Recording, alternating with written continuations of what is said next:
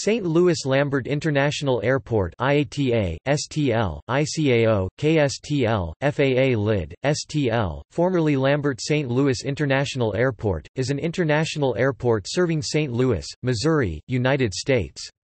It is 14 miles 23 kilometers northwest of downtown St. Louis in unincorporated St. Louis County between Berkeley and Bridgeton. Commonly referred to as Lambert Field or simply Lambert, it is the largest and busiest airport in Missouri with over 270 daily departures to over 80 domestic and international locations. In 2017, 14.7 million passengers traveled through the airport. The airport is a focus city for Southwest Airlines and serves as a hub for Air Choice One and Cape Air, and was formerly a hub for Ozark Airlines, Trans World Airlines, and American Airlines. It is the largest U.S. airport classified as a medium-sized primary hub and currently the second busiest after Dallas Love. St. Louis Lambert International Airport is the primary airport in the St. Louis area, with Mid-America St. Louis Airport, about 37 miles 59 kilometers east, serving as a secondary metropolitan commercial airport. The two airports are connected by the Red Line of the city's light rail mass transit system, the Metrolink. Both airports are currently served by commercial passenger airlines. Named for Albert Bond Lambert, an Olympic medalist and prominent St. Louis aviator, the airport rose to international prominence in the 20th century thanks to its association with Charles Lindbergh, its groundbreaking air traffic control, its status as the primary hub of Trans World Airlines, and its iconic terminal. Designed by Minoru Yamasaki, the building inspired terminals at John F. Kennedy International Airport in New York City and Charles de Gaulle Airport in Paris, France.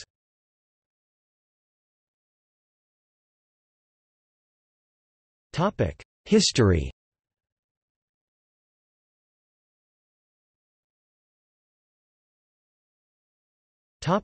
Beginnings The airport originated as a balloon launching base called Kinloch Field, part of the 1890s Kinloch Park suburban development. The Wright brothers and their exhibition team visited the field while touring with their aircraft. During a visit to St. Louis, Theodore Roosevelt flew with pilot Arch Hoxsey on October 11, 1910, becoming the first U.S. president to fly. Later, Kinloch hosted the first experimental parachute jump. In June 1920, the Aero Club of St. Louis leased 170 acres of cornfield, the defunct Kinloch Racing Track, and the Kinloch Airfield in October 1923, during the International Air Races. The field was officially dedicated as Lambert St. Louis Flying Field in honor of Albert Bond Lambert, an Olympic silver medalist golfer in the 1904 Summer Games, president of Lambert Pharmaceutical Corporation which made Listerine, and the first person to receive a pilot's license in St. Louis. In February 1925, Major his rank was given by the Aero Club and not the military Lambert bought the field and added hangars and a passenger terminal. Charles Lindbergh's first piloting job was flying airmail for Robertson Aircraft Corporation from Lambert Field. He left the airport for New York about a week before his record-breaking flight to Paris in 1927. In February 1928, the city of St. Louis leased the airport for $1.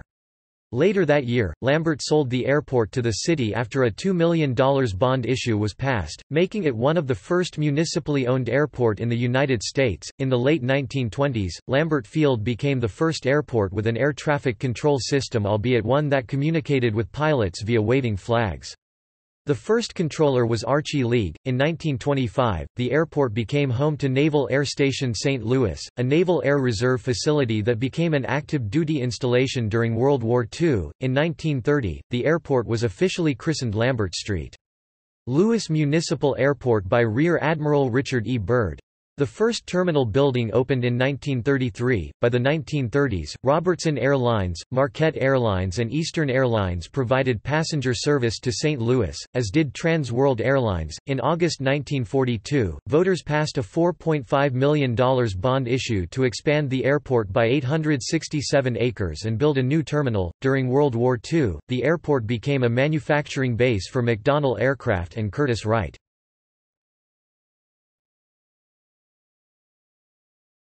1945 to 1982 post-World War II expansion Ozark Airlines hub After the war, NAS St. Louis reverted to a reserve installation, supporting carrier-based fighters and land-based patrol aircraft. When it closed in 1958, most of its facilities were acquired by the Missouri Air National Guard and became Lambert Field Air National Guard Base. Some other facilities were retained by non-flying activities of the Naval Reserve and Marine Corps Reserve, while the rest was redeveloped to expand commercial airline operations at the airport. Ozark Airlines began operations at the airport in 1950 to handle the increasing passenger traffic. Minoru Yamasaki was commissioned to design a new terminal at Lambert, which began construction in 1953. Completed in 1956 at a total cost of $7.2 million, the three-domed design preceded terminals at John F. Kennedy International Airport in New York City and Paris Charles de Gaulle Airport. A fourth dome was added in 1965 following the passage of a $200 million airport revenue bond. The April 1957 official airline guide shows TWA with 44 weekday departures American, 24, Delta, 16, Ozark, 14, Eastern, 13, Braniff, 6, and Central, 2. The first jets were TWA 707s in July 1959. In 1971, the airport officially became Lambert St. Louis International Airport. In the 1970s, St. Louis city officials proposed to replace the airport with a new one in suburban Illinois. After Missouri residents objected in 1977, Lambert received a $290 million expansion that lengthened the runways, increased the number of gates to 81, and boosted its capacity by 50%. A proposed Illinois airport was later built, though not near the originally proposed site. Mid-America St. Louis Airport opened in 1997 in Mascoutah, Illinois. As of 2018 the only scheduled passenger service is non-stop flights operated by Allegiant Air. Concourse A and Concourse C were rebuilt into bi-level structures equipped with jet bridges as part of a $25 million project in the mid-1970s designed by Sverdrup. The other concourses were demolished. Construction began in the spring of 1976 and was completed in September 1977. A $20 million, 120,000 square foot 11,000 square meters extension of Concourse C for TWA and a $46 million, 210,000 square foot 20,000 square meters Concourse D for Ozark Airlines also designed by Sverdrup were completed in December 1982. Ozark Airlines established its only hub at Lambert in the late 1950s. The airline grew rapidly, going from 36 million revenue passenger miles in 1955, to 229 million revenue passenger miles in 1965. The jet age came to Ozark in 1966 with the Douglas DC-910 and its network expanded to Denver, Indianapolis, Louisville, Washington, D.C., New York City, Miami, Tampa and Orlando. With the addition of jets, Ozark began its fastest period of growth, jumping to 653 million revenue passenger miles by 1970 and 936 million revenue passenger miles by 1975. Ozark soon faced heavy competition in TWA's new hub at Lambert, however. By 1979, the year after airline deregulation, STL's dominant carriers were TWA 36 routes and Ozark 25, followed by American 17 and Eastern 12. Other carriers at STL around this time included Air Illinois, Air Indiana, Braniff, Britt, Brower, Delta, Frontier, Northwest Orient, Republic, Texas International, Trans Mo and U.S. Air.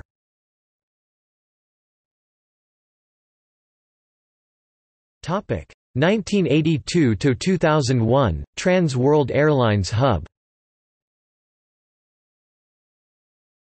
After airline deregulation in 1978, airlines began to realign their operations around a hub and spoke model. Trans World Airlines TWA was headquartered in New York City but its main base of employment was at Kansas City International Airport and had large operations at Chicago O'Hare International Airport as well as St. Louis. TWA deemed Kansas City terminals as unsuitable to serve as a primary hub. TWA reluctantly ruled out Chicago, as its Chicago operation was already losing $25 million a year under competition from American Airlines and United Airlines. This meant that St. Louis was the carrier's only viable option. TWA proceeded to downsize Chicago and build up St. Louis, swapping three Chicago gates for five of American's St. Louis gates. By December 1982, St. Louis accounted for 20% of TWA's domestic capacity. Lambert's terminal was initially too small for this operation, and TWA was forced to use temporary terminals, mobile lounges and airstairs to handle the additional flights. After Concourse D was completed in 1985, TWA began transatlantic service from Lambert to London, Frankfurt and Paris. TWA's hub grew again in 1986 when the airline bought Ozark Airlines, which operated its hub from Lambert's B, C, and D concourses. In 1985, TWA had accounted for 56.6% of boardings at STL while Ozark accounted for 26.3%, so the merged carriers controlled over 80% of the traffic. As of 1986, TWA served STL with non-stop service to 84 cities, an increase from 80 cities served by TWA and or Ozark in 1985, before the merger. Despite the entry of Southwest Airlines in the market in 1985, the TWA buyout of Ozark and subsequent increase in the non-stop cities served, the number of passengers using Lambert held steady from 1985 through 1993, ranging between 19 million and 21 million passengers per year throughout the period. Lambert again grew in importance for TWA after the airline declared bankruptcy in 1992 and moved its headquarters to St. Louis from Mount Kisco, NY in 1993. TWA increased the number of cities served and started routing more connecting passengers through its hub at Lambert. The total number of passengers using Lambert rose from 19.9 million passengers enplaned in 1993 to 23.4 million in 1994, jumping almost 20% in one year. Growth continued, with total in-plane passengers jumping to 27.3 million by 1997 and 30.6 million in 2000, the highest level in its history. By the late 1990s, Lambert was TWA's dominant hub, with 515 daily flights to 104 cities as of September 1999. Of those 515 flights, 352 were on TWA mainline aircraft and 163 were Trans World Express flights operated by its commuter airline partners. During this period, Lambert Field was ranked as the eighth busiest U.S. airport by flights not by total passengers, largely due to TWA's hub operations, Southwest Airlines' growing traffic, and commuter traffic to smaller cities in the region. Congestion caused delays during peak hours and was exacerbated when bad weather reduced the number of usable runways from three to one. To cope, Lambert officials briefly redesignated the taxiway immediately north of runway 12L30R as runway 13-31 and used it for commuter and general aviation traffic. Traffic projections made in the 1980s and 1990s predicted yet more growth, however, enough to strain the airport and the national air traffic system. These factors led to the planning and construction of a 9,000 foot runway, dubbed Runway 11 29, parallel to the two larger existing runways. At $1.1 billion, it was the costliest public works program in St. Louis history. It required moving seven major roads and destroying about 2,000 homes, six churches, and four schools in Bridgeton, Missouri. Work began in 1998 and continued even as traffic at the airport declined after the 9-11 attacks, the collapse of TWA and its subsequent purchase by American, and American's flight reductions several years later. As of 2018, the runway is used for approximately 12% of all takeoffs and landings.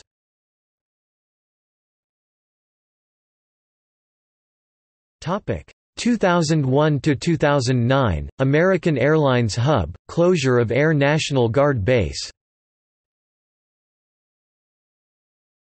As TWA entered the new millennium, its financial condition proved too precarious to continue alone and in January 2001, American Airlines announced it was buying TWA, which was completed in April of that year. The last day of operations for TWA was December 1, 2001, including a ceremonial last flight to TWA's original and historic hometown of Kansas City before returning to St. Louis one final time. The following day, TWA was officially absorbed into American Airlines. The plan for Lambert was to become a reliever hub for the existing American hubs at Chicago O'Hare and Dallas, Fort Worth. American was looking at something strategic with its new St. Louis hub to potentially offload some of the pressure on O'Hare as well as providing a significant boost to the airline's east-west connectivity. The September 11, 2001 terrorist attacks were a huge demand shock to air service nationwide, with total airline industry domestic revenue passenger miles dropping 20% in October 2001 and 17% in November 2001. Overnight, American no longer had the same need for a hub that bypassed its hubs at Chicago and Dallas, which suddenly became less congested. As a result of this and the ongoing economic recession, service at Lambert was subsequently reduced over the course of the next few years, to 207 flights by November 2003. Total passenger traffic dropped to 20.4 million that same year. On the international front, flights to Paris went to seasonal in December 2001 and transatlantic service was soon discontinued altogether when American dropped flights to London in late 2003. In 2006, the United States Air Force announced plans to turn the 131st Fighter Wing of the Missouri Air National Guard into the 131st Bomb Wing. The Wing's 20 F-15C and F-15D aircraft were moved to the Montana Air National Guard's 120th Airlift Wing at Great Falls International Airport, Air National Guard Base, Montana and the Hawaii Air National Guard's 154th Wing at Hickam AFB, Hawaii. The pilots and maintainers moved to Whiteman AFB, Missouri to fly and maintain the B-2 Spirit stealth bomber as the first Air National Guard wing to fly the aircraft. Lambert Field Air National Guard Base formally shut down on June 13, 2009 when the final two F-15C Eagles did a low approach over the field and then flew away, ending an 86-year chapter of Lambert's history. 2006 also saw the completion of the W1W airport expansion after eight years of work. The culmination of this program was the opening of runway 11 29, the airport's fourth, on April 13, 2006 when American Airlines Flight 2470 became the first commercial airliner to land on the new runway. In 2007, airport officials announced the largest renovation in the airport's history, a $70 million effort to overhaul Terminal 1 called the Airport Experience Project. Planned renovations included updating and modernizing the interior, redesigning signage, and modernizing the baggage system. The first phase of the project began in 2008, with the replacement of signage in order to improve navigation inside the terminal, replacement of the baggage handling system, and renovation of the domed vaults of the ticketing hall. Bonds were issued in 2009 to assist with funding. In 2008, Lambert's position as an American Airlines hub faced further pressure due to increased fuel costs and softened demand because of a depressed economy. American cut its overall system capacity by over 5% during 2008. At Lambert, American shifted more flights from mainline to regional. Total passengers enplaned fell 6% to 14.4 million in 2008, then fell another 11% to 12.8 million passengers in 2009. In September 2009, American Airlines announced that as a part of the airline's restructuring, it would eliminate its St. Louis hub by reducing its operations from approximately 200 daily flights to 36 daily flights to nine destinations in the summer of 2010. These cuts ended the remaining hub operation. American's closure of the St. Louis hub coincided with its new cornerstone plan, wherein the airline would concentrate itself in several major markets, Chicago, Dallas, Fort Worth, Miami, New York, and Los Angeles. Topic 2009 to 2017 Southwest expansion rebirth of the airport in early October 2009 Southwest Airlines announced the addition of 6 daily flights to several cities as an immediate response to the cutbacks announced by American Airlines then on October 21, 2009 Southwest announced that it would increase service with a major expansion in St. Louis by May 2010 the airline announced it would begin flying non-stop from St. Louis to six new cities for a new total of 31 destinations, increasing the number of daily departures from 74 to 83. This had the effect of replacing American as the carrier with the most daily flights after American's service cuts in summer 2010. The airport hit its nadir in 2010 following the closure of the American hub in the midst of the Great Recession, ending the year with the lowest passenger and airplane movement statistics of any modern year on record. Fortunately for the airport, Southwest's announced expansion at Lambert immediately began to fill in for many of the holes left by the demise of the hub. What followed were several years of steady growth by Southwest that maintained passenger numbers at a fairly steady level, allowing airport leadership time to shift priorities and begin the long road to recovery in earnest. Complicating recovery was the Good Friday tornado. At about 8.10 p.m. on April 22, 2011, an EF4 tornado struck the airport's Terminal 1, destroying jetways and breaking more than half of the windows. One plane from Southwest Airlines was damaged when the wind pushed a baggage conveyor belt into it. Four American Airlines planes were damaged, including one that was buffeted by 80 miles per hour crosswinds while taxiing after landing. Another aircraft, with passengers still aboard, was moved away from its jetway by the storm. The FAA closed the airport at 8.54 p.m. Central Daylight Saving Time, then reopened it the following day at temporarily lower capacity. The damage to Concourse C even forced several airlines to use vacant gates in the B and D concourses. The TSA would later declare Lambert Airport its Airport of the Year for exceptional courtesy and high-quality security as well as the excellent response by airport officials during and after the tornado. In the meantime, the tornado and subsequent damage to the terminal facilities accelerated the timeline for the Airport Experience Program, a large-scale renovation of the interior spaces of Terminal 1 and its concourses. Concourse C underwent renovations and repairs and finally reopened on April 2, 2012. One of the first true indications of the airport's recovery was in May 2013, when several credit agencies improved their evaluations of the airport's finances. Moody's raised its rating on Lambert Airport's bonds to A3 with a stable outlook from BA1 with a stable outlook. Standard & Poor's S&P raised its rating to A with a stable outlook from A with a negative outlook. This was the first time in more than a decade that both Moody's and Standard & Poor's ratings for the airport had both been in the single A category. Earlier in the month, Fitch Ratings upgraded outstanding airport revenue bonds to BBB+ from BBB with a stable outlook. The rating agencies attributed the upgrades to strong fiscal management and positive passenger traffic. In 2015, the airport released a new five year strategic plan. The overall mission statement of the airport was given as connecting the St. Louis region with the world, while also detailed were four major strategic objectives, strengthening financial sustainability, sustaining and growing passenger air service, creating a positive and lasting impression for the region, and generating economic development.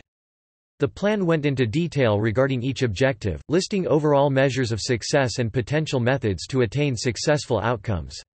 Some of the given measures of success are reducing costs per enplaned passenger, reducing the airport's debt service, maximizing sources of revenue primarily non-aviation, increasing passenger throughput, gaining new passenger services, improving satisfaction survey scores, and increasing revenue from cargo. In January 2016, the airport completed renovations of Terminal 1, concluding more than seven years of planning and renovation work throughout the airport. In late 2016, the city of St. Louis announced it would either keep the name Lambert St. Louis International Airport or change it to St. Louis International Airport at Lambert Field.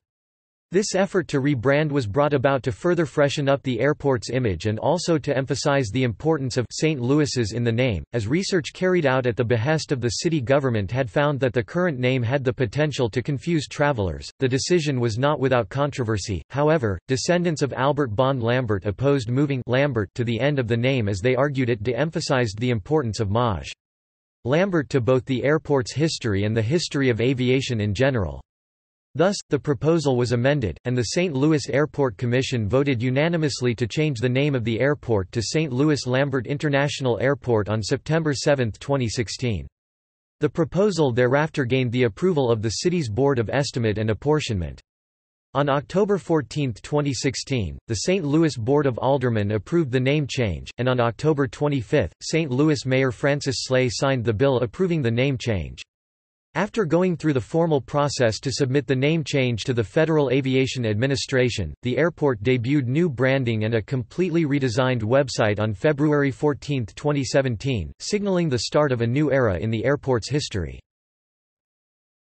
Topic 2017 present continued growth in early 2017 Lambert began to renovate four unused gates in concourse D and renamed them as E gates This work was undertaken to accommodate the continued growth of Southwest Airlines at Lambert's Terminal 2 and was finished in time for the summer flying season. In May 2017, Moody's again raised its rating of Lambert's bonds and debt to A3 with a positive outlook from A3 with a stable outlook, primarily due to continued growth in enplanements, declining debt, and no major capital expenditures.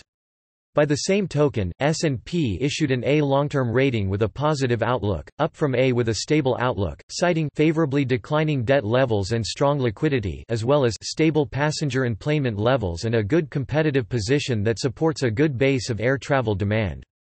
Later in the year, Fitch also raised their bond outlook to A with a stable outlook from BBB plus with a positive outlook, citing many of the same reasons as the other two agencies. An August 21, 2017 FAA press release announced that Lambert was one of 67 airports selected to receive infrastructure grants from the U.S. DOT.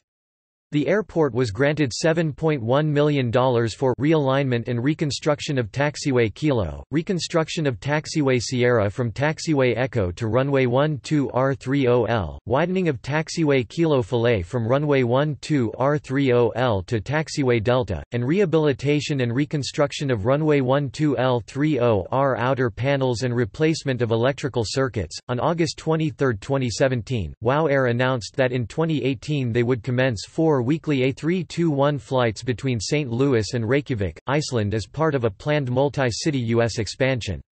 As part of the service agreement, the airport and St. Louis County Port Authority will combine for approximately $800,000 in incentives to market the route and will waive landing fees for WOW Air for 18 months, while WOW Air guaranteed the route will remain for at least two years.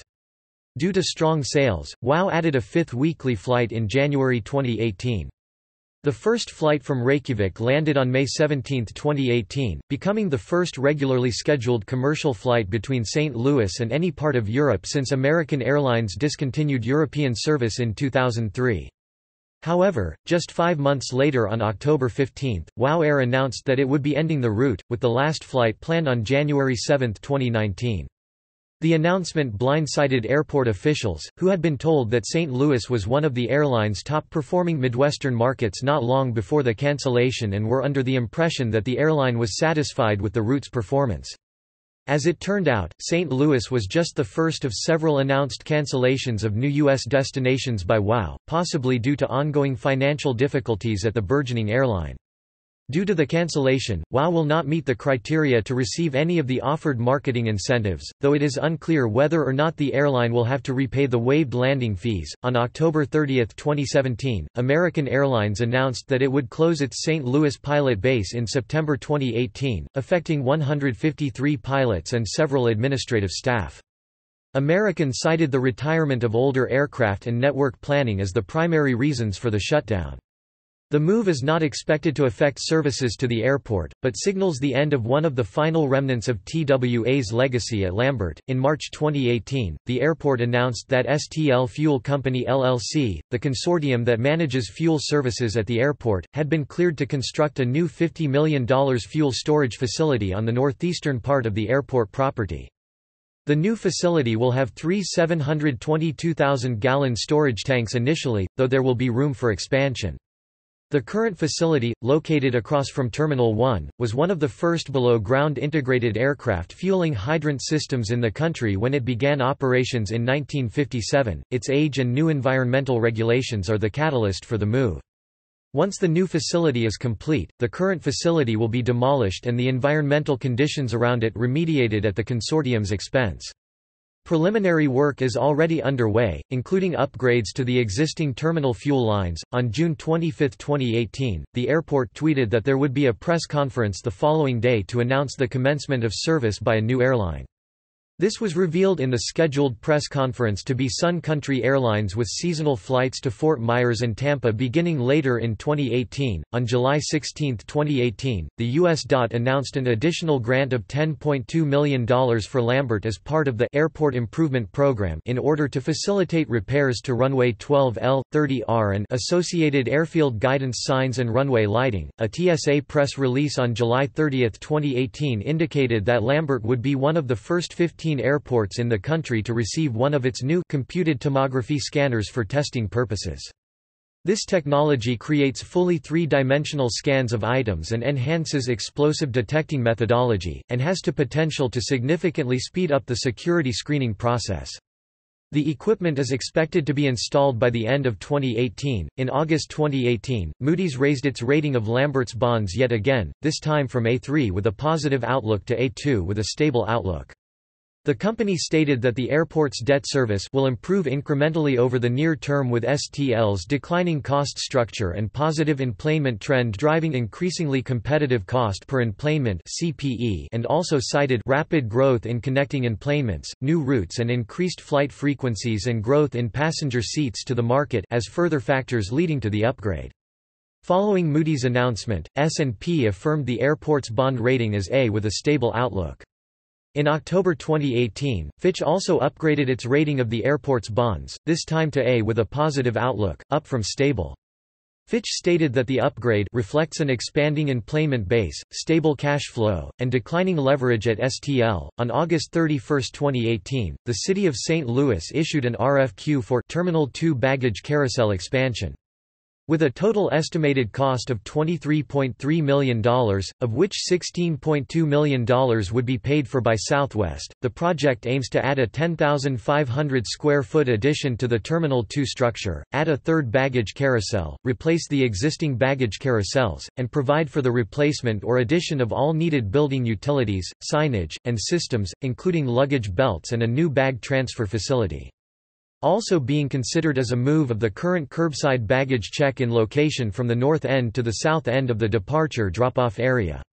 The project is awaiting approval from the city's Board of Aldermen and Board of Estimate and Apportionment. An ongoing dispute is a potential privatization of the airport. This initiative was started in 2017 by St. Louis Mayor Francis Slay shortly before leaving office.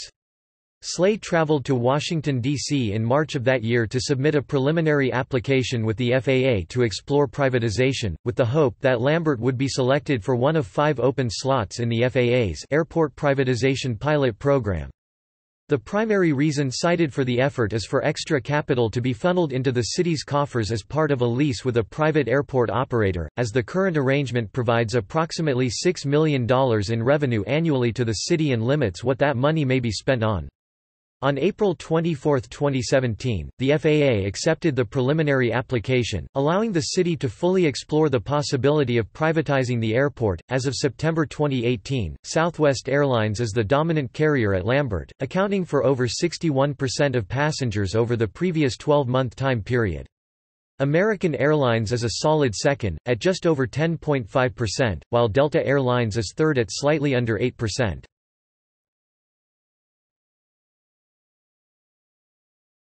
Topic: Facilities.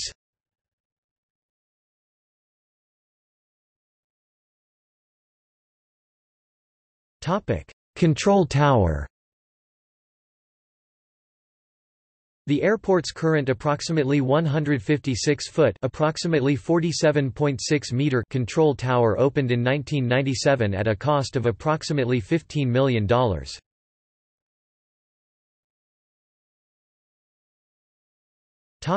Runways. The airport has four runways, three of which are parallel with one crosswind. The crosswind runway, 624, is the shortest of the four at 7,602 feet 2,317 meters.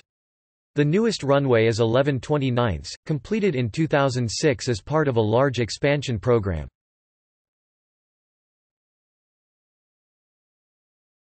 Topic: Terminals. The airport has two terminals with a total of five concourses. International flights and passengers use Terminal 2, whose lower level holds the customs facilities. Passengers can move between the terminals on complimentary buses that run continuously or via Metrolink for a fee. It was possible to walk between the terminals via Concourse D until the connection was blocked in 2008 with the closure of Concourse D. This connection may reopen as more shuttered D gates are reactivated.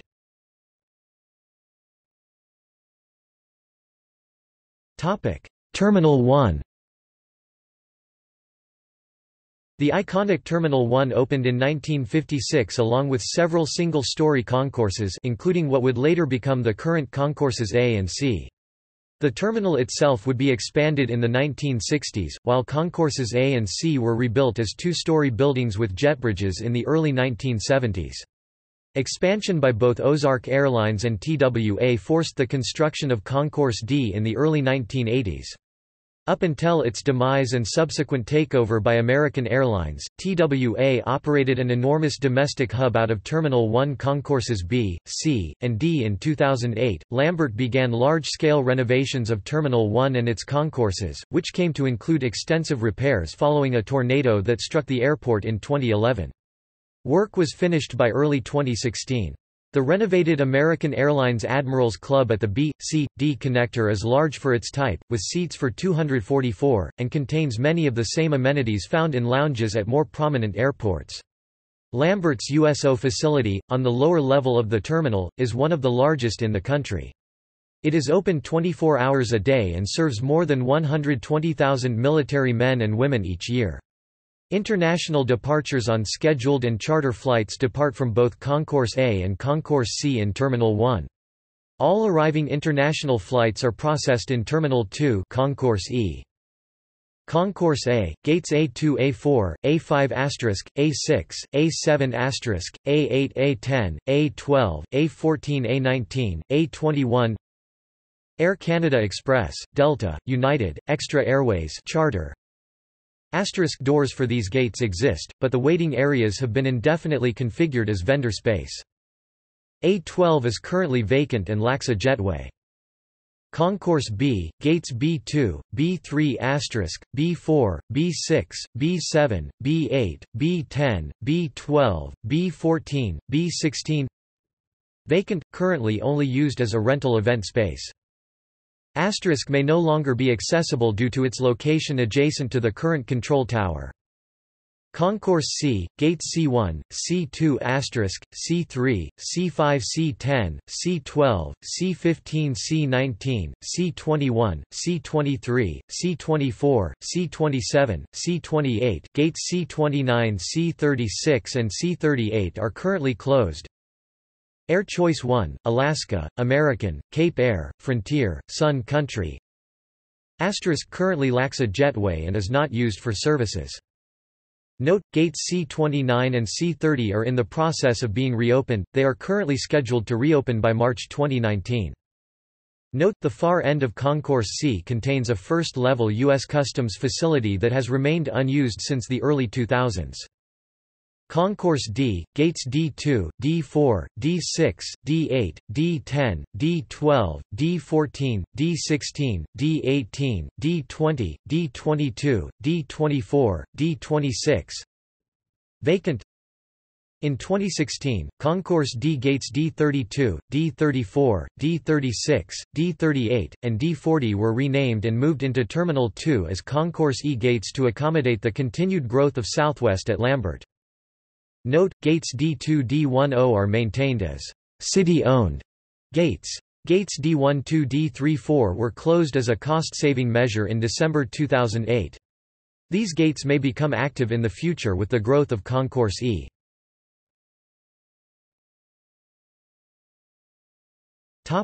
Terminal 2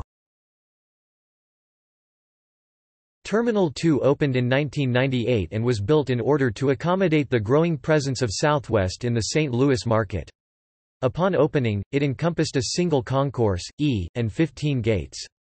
As Southwest has continued to expand in St. Louis, former unused gates in the D concourse have been renovated and renamed as E-gates.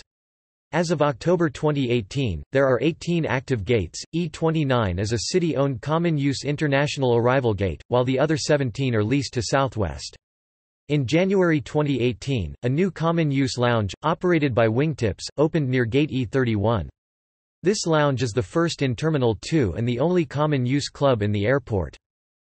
Concourse E, gates E2 E4, E6, E8, E10, E12, E14, E16, E18, E20, E22, E24, E29, E31, E33, E34, E36, E38, E40 Southwest, WOW, all other international arrivals excluding pre-cleared Air Canada Express flights Note, Concourse E-gates E29, E31, E33 are secured international airline arrival gates and connect to the airport's only currently operating U.S. Customs facility.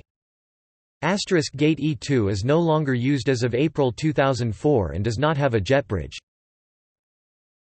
Topic aircraft production Lambert's runways have long been used for test flights and deliveries of military aircraft, first by McDonnell Douglas, which built its world headquarters and principal assembly plant next to the airport, and now by Boeing, which bought McDonnell and currently uses its St. Louis facilities as the primary manufacturing facility for its defense, space and security division. Until 2016, Boeing Defense, Space and Security was also headquartered in St. Louis. That year, it was moved to the Washington, D.C. area, affecting approximately 12 executive positions and their support staff. The company cited easier access to potential customers as the reason for the move. The plant currently builds the F-15 Strike Eagle, F.A-18 Super Hornet, and EA-18 Growler. It was formerly home to Boeing Phantom Works until Boeing moved the division's headquarters to Seattle in September 1999, though it does still maintain a significant presence at the airport. In more recent developments, the first two prototypes of the Boeing TX trainer, Boeing and Saab Group's joint entry for the TX program to replace the aging Northrop T-38 Talon, were constructed at Boeing's Lambert facilities. The first prototype underwent its first test flight in December 2016. On May 15, 2017, Boeing announced that St. Louis would be the assembly location for the TX should they win the USAF contract.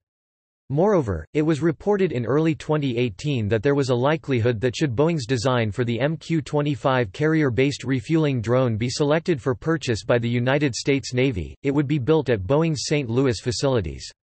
This was confirmed on August 30, 2018, when Boeing's design was selected by the Department of Defense and Boeing was awarded a contract for four examples to be produced by 2024, with 45.5% of the work to be done at Boeing's St. Louis facilities. Up to 72 examples may be purchased by the Navy, totaling $7 billion in sales. The selection was viewed as a much-needed win by both the region and the company. On September 27, 2018, Boeing Saab's joint entry for the TX program was announced as the contract winner of the TX program, beating out competing entries from Lockheed, Kai, and Leonardo and capping off a month of success for Boeing as it captured three major defense contracts. The initial contract is for 351 aircraft, 46 simulators, and associated ground equipment worth $9.2 billion, though the contract allows the Air Force to purchase up to 475 aircraft and 120 simulators. Overall, the Air Force predicts it may spend upwards of $16 billion on new trainer aircraft. It is also possible that more aircraft and support services will be purchased by foreign customers, meaning the program as a whole will likely be rather lucrative. The aircraft will be built at Boeing's St. Louis facility, ensuring Boeing's tactical aircraft business remains strong as F-15 and F.A-18 production begins to wind down, and was viewed as a critical win by both Boeing and regional leaders. In October 2018, it was announced that neither of Boeing's two competitors would protest the decision, fully clearing the way for the program to commence. In addition, Saab will also build a U.S. manufacturing facility to complete its allocated work on each aircraft.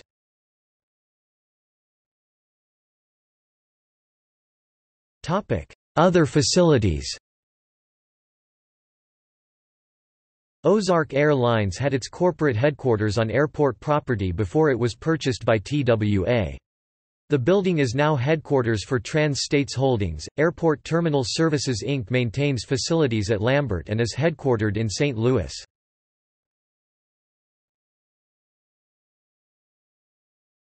Topic: Modernization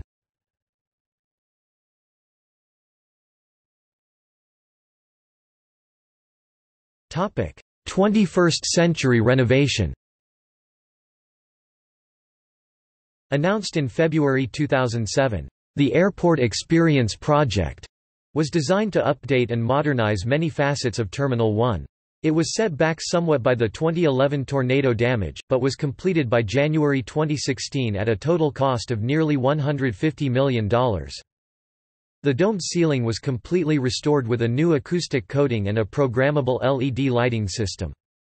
A faster, quieter baggage carousel system was installed. The main and east terminals were renamed Terminal 1 and Terminal 2 and signs throughout the airport were redone to reflect the change and improve wayfinding. Eight restaurants and food vendors were added to the terminal. In December 2011, the renovation of the A concourse was completed with new bathrooms, flooring, lighting, and gate signs. Security checkpoints were reconstructed to be more integrated and to include new screening technology. Terrazzo floors were installed throughout the terminal. Art glass screens, designed by St. Louis area artists, were installed throughout the terminal. A dedicated performance area, dubbed St. Louis Stage, was added. Restrooms throughout the terminal were renovated, new restrooms were added to the baggage area. Entrances to the lower level of Terminal 1 were redesigned.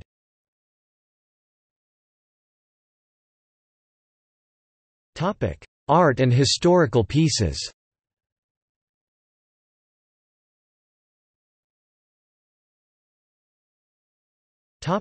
Black Americans in Flight mural. Black Americans in Flight is a mural that depicts African American aviators and their contributions to aviation since 1917. It is located in Terminal 1, main terminal on the lower level near the entrance to gates C and D and baggage claim. The mural consists of five panels and measures 8 feet tall and 51 feet long. The first panel includes Albert Edward Forsyth and C. Alfred Anderson, the first black pilots to complete a cross-country flight, the Tuskegee Institute and the Tuskegee Airmen, Eugene Bullard, Bessie Coleman and Willa Brown first African-American woman commercial pilot in United States. The second panel shows Benjamin O. Davis, Jr., Clarence Lucky Lester and Joseph Elsberry. The third panel shows Gen. Daniel Chappie James, Capt. Ronald Radliff and Capt. Marcella Hayes. The fourth and fifth panels show Ronald McNair, who died in the Space Shuttle Challenger disaster in 1986, Guion Bluford, who in 1983 became the first African American in space, and Mae Jemison, the first African American woman in space. Spencer Taylor and Solomon Thurman created the mural in 1990. The mural had a rededication ceremony in 2012. Topic: Aircraft on display. One aircraft from the Missouri History Museum currently hangs from Lambert's ceilings. This aircraft, a red Monocoupe 110 special manufactured in St. Louis in 1931, hangs in the ticketing hall of Terminal 2. The airport has also played host to two other aircraft. A Monocoupe D-127 hung near the Eastern Security Checkpoint in Terminal 1. Charles Lindbergh bought it in 1934 from the Lambert Aircraft Corporation and flew it as his personal plane. It was removed in 2018 and returned to the Missouri Historical Society, from which the plane had been on loan since 1979, for preservation purposes. Until 1998, Orion B-1 Brougham, a replica of the Spirit of St. Louis, hung next to the D-127.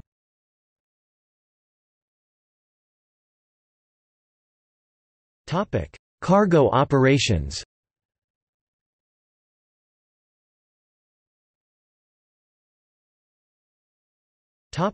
China Cargo Hub and Aerotropolis endeavor In 2008, China Cargo Airlines a subsidiary of China Eastern Airlines was reported to be considering a cargo hub at Lambert as part of its international cargo and passenger service expansion. Lambert was considered an attractive option as runway 11 29 would accommodate the large cargo aircraft, and the decline in passenger service during the first decade of the 2000s meant less congestion than busier airports such as Chicago O'Hare International Airport. Negotiations led to the 2009 creation of the Public Private Midwest China Hub Commission to develop an implementation plan. Planners for the cargo hub envision St. Louis as an aerotropolis, an urban form whose layout, infrastructure, and economy is centered on an airport, offering its businesses speedy connectivity to suppliers, customers, and enterprise partners worldwide. Negotiations between the Chinese ambassador Zhou Wenzhong, China's Minister of Foreign Affairs Li Zhaoxing, Missouri Senators Kit Bond and Claire McCaskill and business leaders from the St. Louis region continued over the next two years. The United States Department of Commerce allowed expansion of the foreign trade zone near Lambert Airport on February 13, 2009. In 2011, the Aerotropolis tax credit was introduced into the Missouri Senate. The bill provided $360 million of tax incentives to freight forwarders and for the development of warehouses, cold storage facilities and transportation connections in so-called gateway zones, foreign trade zones located within 50 miles of St. Louis. The bill was debated in a special session during September 2011 but ultimately failed to gain enough support. In September 2011, the first China Cargo Airlines flight arrived from Shanghai Pudong. The hub's future was questioned when the airline cancelled every subsequent weekly flight in 2011. In 2013, the airline's lease for cargo space in the airport expired and was not renewed, seemingly ending the partnership. In total, only two flights took place in 2011, and all flights thereafter were suspended due to the failed Aerotropolis legislation and weak airfreight demand around the world during that period.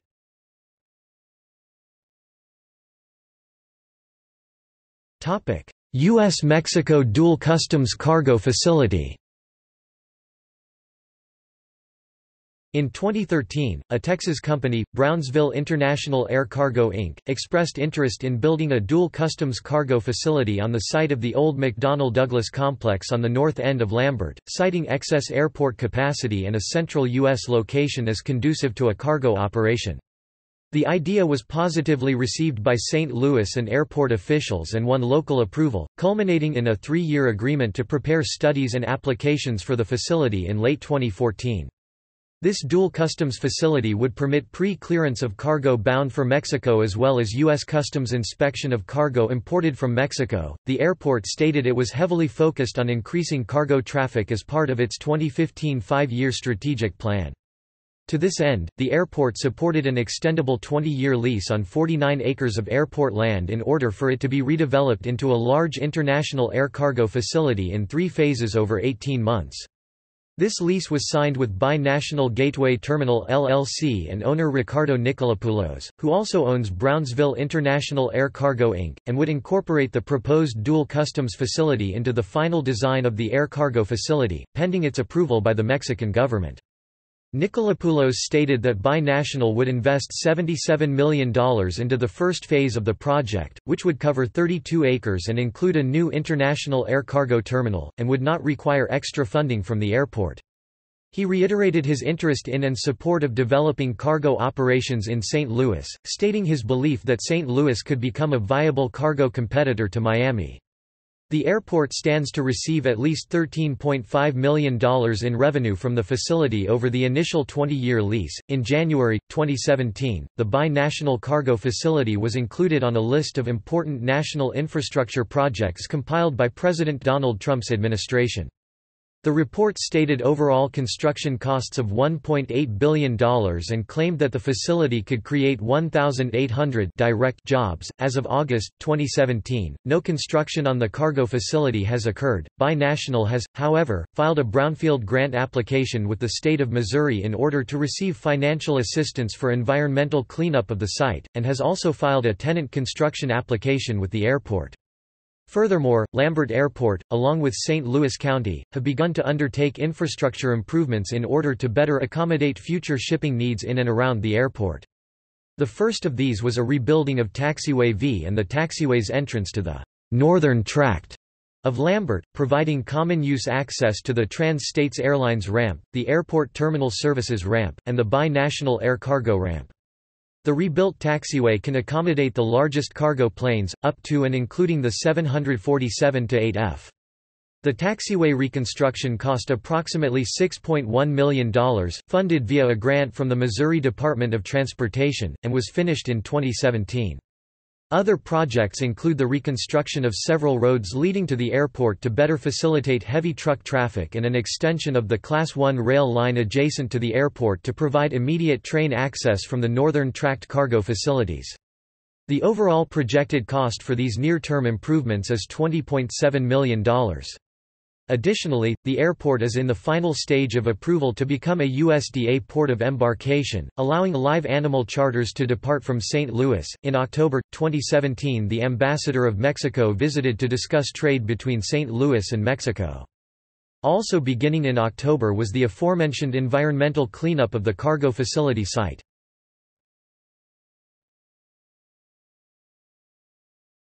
Topic: Airlines and destinations.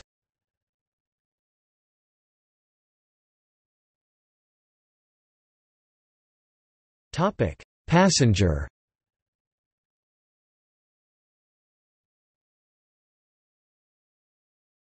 Topic: Cargo.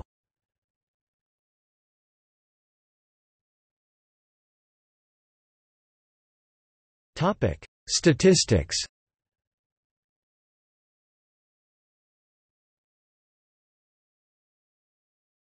Topic: Passenger and operational statistics.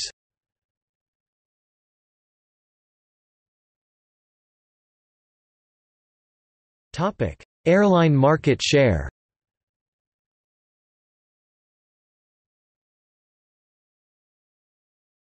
Topic: Top destinations.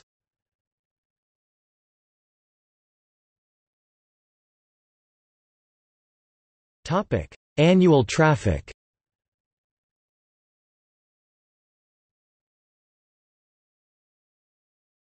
Topic: Cargo statistics.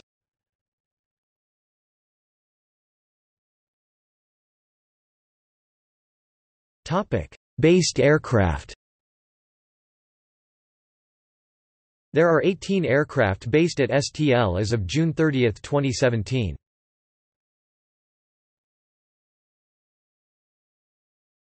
Topic: Ground transportation.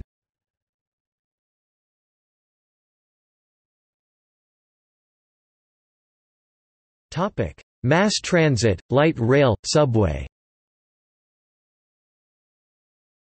The airport is connected to Metrolink's Red Line via a station at both Terminal 1 and Terminal 2. Metrolink lines provide direct or indirect service to downtown St. Louis, the Clayton area and Illinois suburbs in St. Clair County.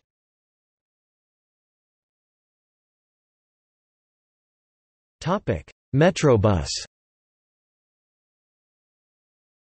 Two Metrobus lines serve the Lambert Bus Port, which is located next to the intermediate parking lot and is accessible via a tunnel from Terminal 1.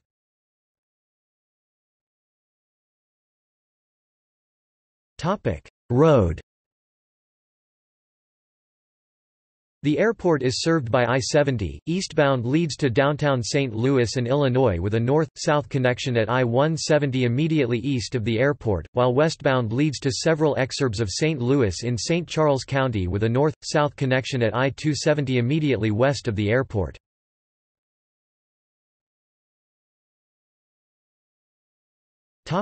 Accidents and incidents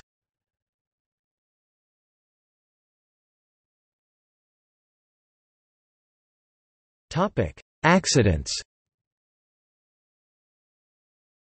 August 5, 1936, Chicago and Southern Flight 4, a Lockheed 10 Electra headed for Chicago, crashed after takeoff killing all eight passengers and crew.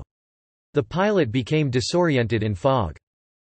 August 1, 1943, during a demonstration flight of an all St. Louis-built glider, a Waco CG-4ARO, 42-78839, built by sub-contractor Robertson Aircraft Company, lost its starboard wing due to a defective wing strut support and plummeted vertically to the ground at Lambert Field, killing all on board, including St. Louis Mayor William D. Becker, Maj.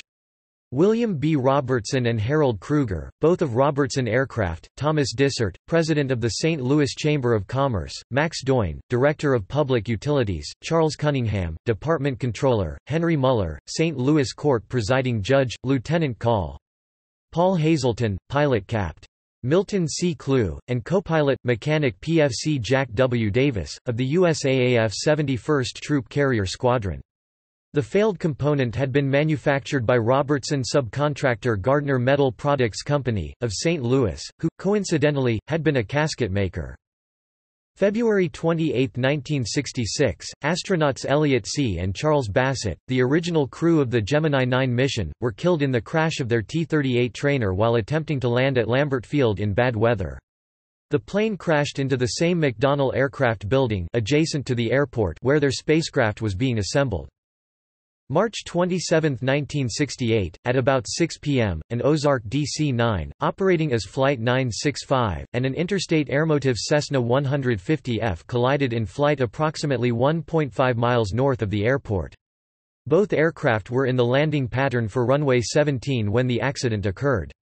The Cessna was demolished by the collision and ground impact, and both occupants were fatally injured. The DC-9 sustained light damage and was able to effect a safe landing. None of its 44 passengers or five crew members were injured. The probable cause was determined to be a combination of inadequate VFR procedures in place at the airport, the failure of the DC-9 crew to notice the other plane in time, the controller's failure to ensure that the Cessna had received and understood important landing information, and the Cessna crew's deviation from their traffic pattern instructions and or their continuation to a critical point in the traffic pattern without informing the controller of the progress of the flight. July 23, 1973, while on the approach to land at St. Louis International Airport, Ozark Airlines Flight 809 crashed near the University of Missouri, St. Louis, killing 38 of the 44 persons aboard. Wind shear was cited as the cause. A tornado had been reported at Ladue, Missouri about the time of the accident but the National Weather Service did not confirm that there was a tornado. January 9, 1984, Douglas C-47B CGS-CA of Skycraft Air Transport crashed on takeoff, killing one of its two crew members. The aircraft was on an international cargo flight to Toronto Pearson International Airport, Canada. Both engines lost power shortly after takeoff. The aircraft had been fueled with Jet A instead of 100LL. November 22, 1994, TWA Flight 427 collided with a Cessna 441, N441KM, at the intersection of runway 30R and taxiway Romeo. The MD-82 was taking off for Denver and had accelerated through 80 knots when the collision occurred. The MD-82 sustained substantial damage during the collision. The Cessna 441, operated by Superior Aviation, was destroyed. The pilot and the passenger were killed. Probable cause, the Cessna 441 pilot's mistaken belief that his assigned departure runway was runway 30R, which resulted in his undetected entrance onto runway 30R, which was being used by the MD-82 for its departure. Contributing to the accident was the lack of automatic terminal information service and other air traffic control information regarding the occasional use of runway 31 for departure. The installation and utilization of Airport Surface Detection Equipment ASDE-3 and particularly ASDE-3 enhanced with the Airport Movement Area Safety System AMASS, could have prevented this accident.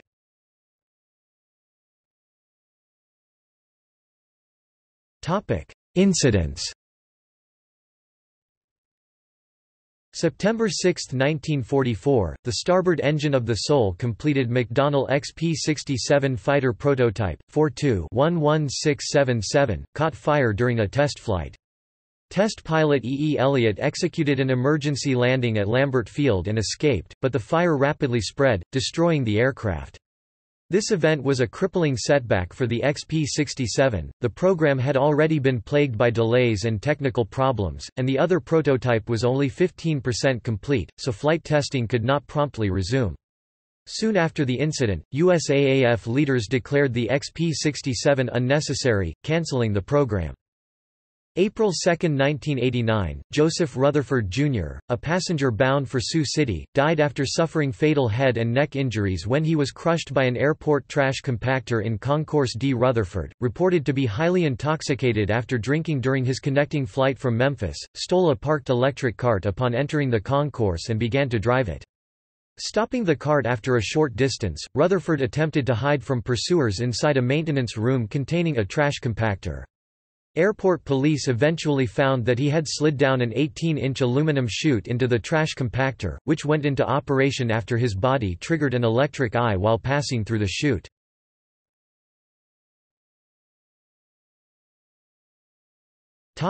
In popular culture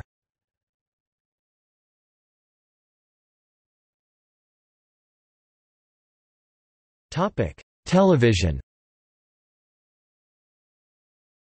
In the airport episode of the television show NewsRadio, bad weather keeps Bill and Dave at Lambert for the entire show. In the airport, Episode of the television show Seinfeld, Jerry and Elaine Lee from Lambert. In the Meg and Quagmire episode of the television show Family Guy, Glenn Quagmire tells a story about landing at Lambert. Topic film In the 1986 film Manhunter, FBI agents fly into Lambert during their pursuit of the killer. In the 1987 film Planes, Trains and Automobiles, Neil Page Steve Martin attempts to rent a car at Lambert, with disastrous consequences. Part of the 1991 film The Silence of the Lambs was shot at Lambert. In the 2003 film Anger Management, Dave Buznik Adam Sandler takes a flight to Lambert. Part of the 2006 film The Lucky Ones, set in Austin, Texas, was shot at Lambert. One scene from the 2009 film The Informant, directed by Steven Soderbergh, was filmed at Lambert. The 2009 film Up in the Air was filmed in the St. Louis area, including in Lambert's Concourse D, between March 3 and the end of April 2009. In the film, George Clooney alludes to Lambert Field's rich history with the Wright brothers and Charles Lindbergh. The 2017 film The Layover was partially filmed and set at Lambert Airport.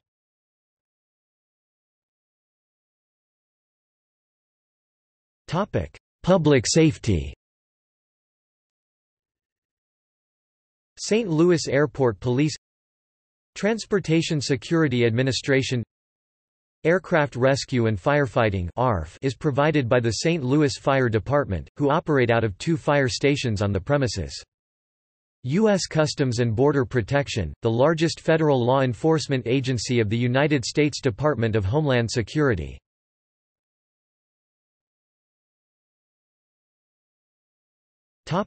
See also Essential Air Service – STL acts as a hub for two EAS carriers. List of airports in Missouri Missouri World War II Army airfields Raymond A. Johnson, one of the first flight instructors for the United States Air Force. Employed as a flight trainer for a time at Lambert Airfield.